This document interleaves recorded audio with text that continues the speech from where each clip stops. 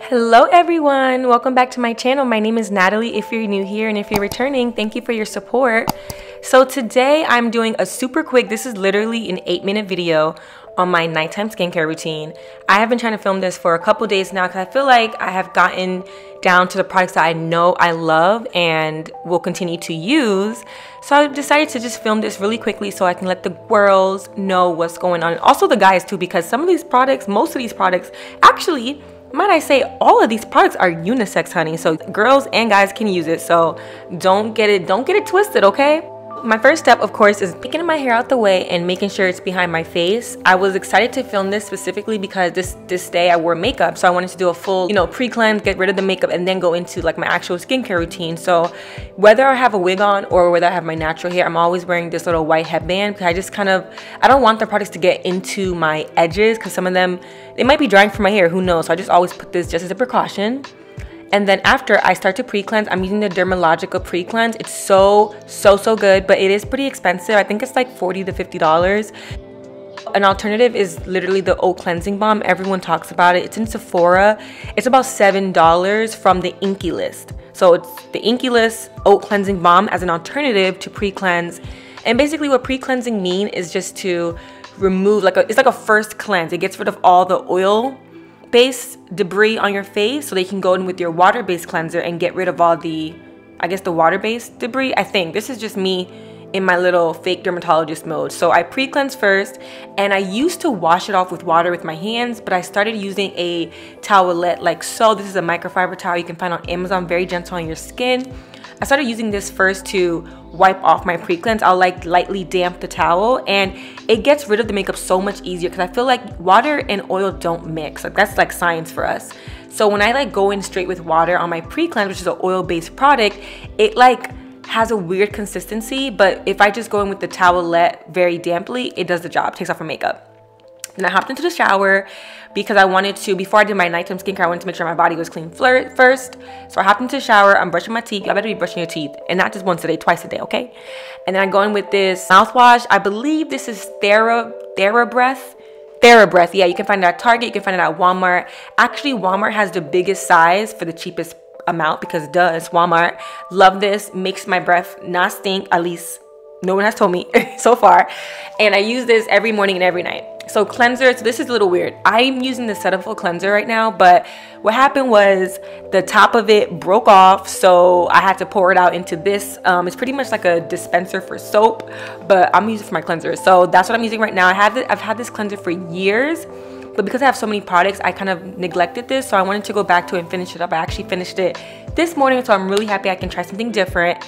I'm really like coming out of being a skincare product junkie because I don't have time for that. It's so hectic when I travel or when I move. So I'm just, I'm not doing that anymore. So I'm trying to get rid of all the products and use them all up.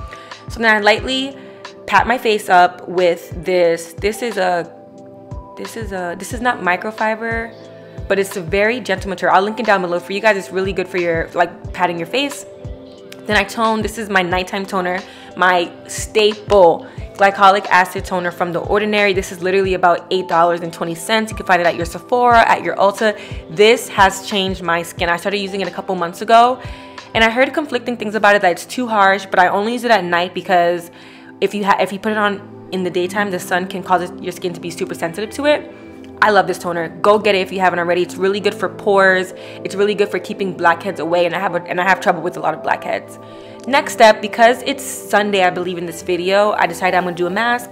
Also, most of these products are from The Ordinary. This is also from The Ordinary. This is their acne blemish prone skin mask. I believe it has 2% BHA and 2% AHA, super potent and so amazing for the skin. I do this about once a week. I might skip a week depending on how my skin is doing, but this is so good for getting in my pores. Like I'm telling you, once I started using this, not only did I have minimal amount of blackheads, but I felt like my skin just appeared brighter afterwards. Left it on for 15 minutes and I'm using the different towel, same brand, to wipe that off. I lightly damp it as well and I just wipe it off my face. You see my skin, girl, it's looking very smooth. The thing is, okay, so I'm using toner again because I realized I washed off the mask and I and I applied the toner before the mask. So I basically washed off my toner. So just just skip this step. I have to do this again because I am not going to sleep without toning my face. Same thing, glycolic acid, go and get you one. It's super cheap, super affordable. Next, I go in with hyaluronic acid. I do hyaluronic acid every morning, every night. This is from the brand oh my god. Oh Innisfree, it's in Sephora. Also very affordable. This was about this is actually their most expensive product but their brand itself is super affordable. Like you can find things for seven dollars eight dollars. Right along the lines of the ordinary and the INKEY list prices. Love this hyaluronic acid. It's very very water based so it really penetrates my skin and makes sure I'm hydrated Next, I go in with this eye cream. This is also from the INKEY List. Honestly, the INKEY List, the Ordinary, y'all need to sponsor me. Let's speak that into existence. Amen and amen. The INKEY List eye cream. Love this eye cream. It has retinol in it, so I only use this at night as well. My skincare routine really is separated from day to night. There's some things I interchange, like the hyaluronic acid. I use it both in the morning and in the night, but this one specifically, I use it at night. This is also my staple. I have to have this in my collection. This is the Differin gel. My girl put me onto this a couple months ago. Oh my gosh, this has transformed my skin. Like I barely get any breakouts after using this. I thought that Differin was only for people who either it was prescribed to you or you just had really, really acne prone skin. I don't think I have necessarily that much acne prone skin, so I didn't want to use it. But I really did struggle with a lot of blackheads, a lot of like huge pores and breakouts that were underneath my skin, which were just are really hard to get rid of. So this was perfect. This product is my Farmacy Herbivore serum. I got this during the Sephora sale a couple months ago. And yeah, this is gonna be my new staple because it's really good for brightening my skin. Like when I wake up in the morning, my skin is so bright and it gives me that glass skin. You'll see in a second because this product right here, I, I can't tell you what it really does, but it's gonna continue coming into my into my rotation. Next, I moisturize. I'm using the Pond's moisturizer, very affordable. You get it at Walmart for $5, $6. Honestly, I'm learning that skincare does not have to be expensive to be good quality. Just make sure you're reading the ingredients, make sure you're noticing what works for your skin and what doesn't.